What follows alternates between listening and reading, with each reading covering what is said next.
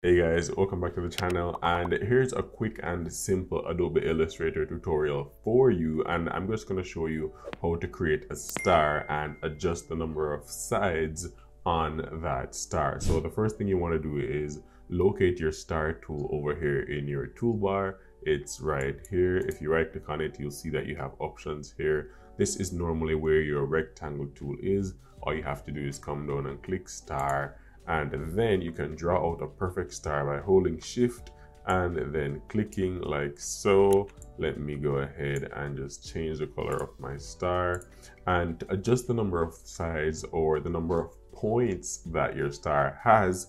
All you have to do is just go ahead and click this little box here and then you can just drag down and you'll see you're adjusting the number of sides your star has. The number of points your star has.